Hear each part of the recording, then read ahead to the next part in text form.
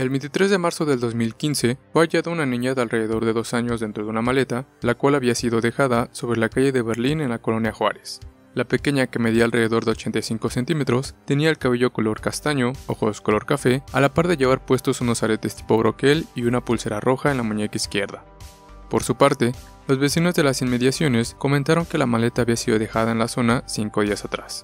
Cabe destacar que nadie se atrevió a moverla, dado que pensaron que pertenecía a algún indigente que rondaba por las inmediaciones. Como dato extra, los vecinos comentaron que la maleta llegó a cambiar de lugar en varias ocasiones.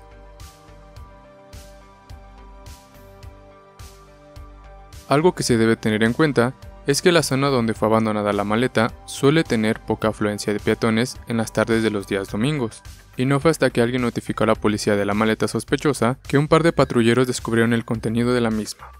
Cuando los antes mencionados oficiales de policía se percataron que dentro de la maleta se encontraba el cuerpo de una pequeña, estos trasladaron a la niña a la morgue donde permaneció alrededor de 13 meses en la espera de que alguien la identificara y reclamara los restos. Por su parte, los exámenes realizados al cuerpo de la niña revelaron que meses antes de perder la vida, ella había sufrido repetidos abusos físicos. A la par de esto, el cuerpo de la pequeñita presentaba señales de golpes, a la par de sufrir algún grado de desnutrición. Finalmente, en el parte médico se registró como causa de la muerte de la niña un fuerte traumatismo cráneo-cervical. Tras el hallazgo del cuerpo de la niña, se le tomaron fotos de la cara, las cuales fueron ampliamente difundidas en todos los medios de comunicación del país. Esto con la intención de localizar a algún familiar de la pequeña. No obstante, esto nunca pasó.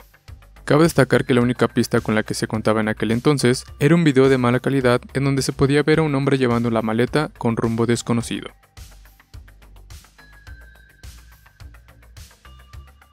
Si bien se desconocía la identidad de la pequeñita, los médicos forenses que se encargaron de los restos de la niña la nombraron como Ángela, ya que a sus ojos, la pequeña solo era un angelito indefenso.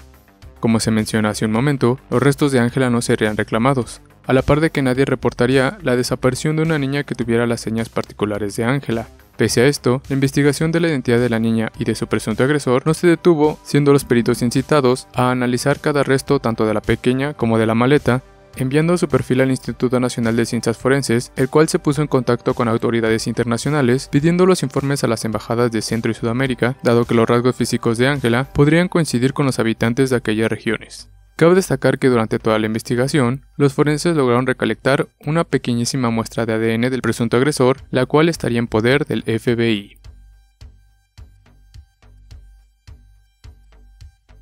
Como recordarán, la investigación del caso de Ángela se alargó alrededor de 13 meses, tras los cuales, debido al encariñamiento de los médicos forenses con la pequeña, se determinó que sus restos no serían enterrados en una fosa común, optando por enterrar el pequeño cuerpo de la niña en el Panteón San Isidro, teniendo una ceremonia a la cual asistió el jefe de gobierno de en ese entonces, Miguel Ángel Mancera, el presidente del Tribunal Superior de Justicia de la Ciudad de México, Edgar Alias, junto a un grupo de estudiantes de ciencias forenses. ¿Qué ejemplo más uh, claro de maltrato infantil podemos encontrar que este que hoy nos convoca? Lo que no quisiéramos ver, ni escuchar, ni saber que acontece en una sociedad como la nuestra. En el lugar donde descansan los restos de Ángela se puede leer, Ángela, la pureza de tu alma perdurará por siempre. Descansa en paz. Cabe destacar que lo antes mencionado fue una excepción a la regla, dado que los cuerpos no reclamados por ley son enviados a una fosa común.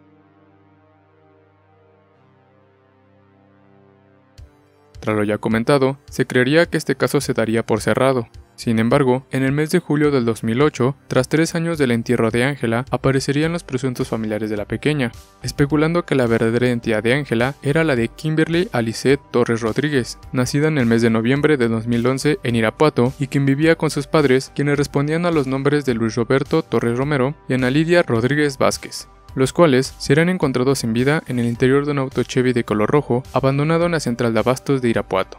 Ambos se encontrarían maniatados y con un tiro en la cabeza cada uno. Cabe destacar que tras el hallazgo de los presuntos padres de la menor, los peritos recabaron toda la información posible, la cual no fue compartida con el Estado cuando las investigaciones del caso de Ángela estaban en proceso.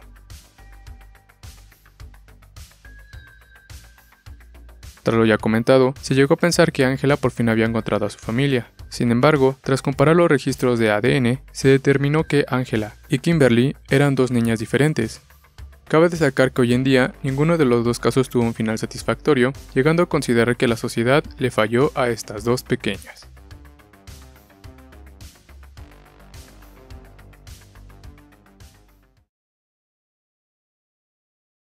Y bueno, hasta aquí este triste capítulo. Si te gustó, no olvides dejar tu like y compartírselo a quien más confianza le tengas. Yo soy tu amigo Kenji Black y esto fue Pasajes Misteriosos.